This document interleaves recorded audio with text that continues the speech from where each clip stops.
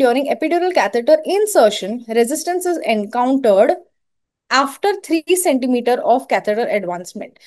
Which catheter design characteristic most reduces such coiling or kinking? Now, this is a very practical question. A lot of us have put epidural day in and day out. And initially, when you were putting epidural, remember we used to force the catheter in, and our seniors used to always say, Don't force the catheter in.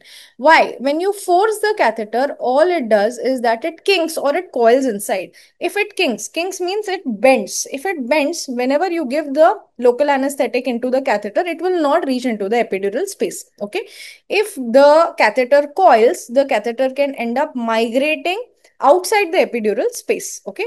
So you don't want to force the catheter inside because that causes kinking or coiling of the catheter. Now, how do I prevent this coiling or kinking? That is the main thing. How do I prevent the catheter from coiling or kinking? And it should go straight into the epidural space very well.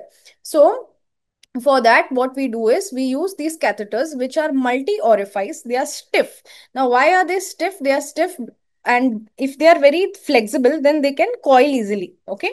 Uh, or they can also kink or bend easily. But if they are stiff then they don't kink or coil easily. Now how do you make these catheters stiff?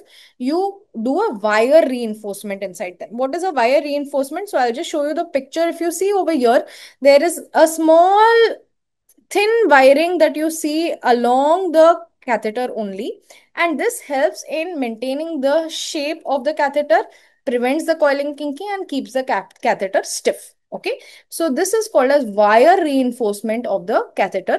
Now, what is multi-orifice and single orifice catheter? Okay, so now if you see an epidural catheter that on its tip, it has an opening, only one single opening. We will call this as a single orifice epidural catheter. But if you see another catheter, the tip is blind. That means the tip is closed. And on the side, you have these openings. Typically, we have about three openings on the side at 0.51 and 1.5 centimeter from the tip. Okay. So this is called as a multi-orifice catheter. It is seen that multi-orifice catheters help in distribution of the drug much better as compared to single orifice catheter.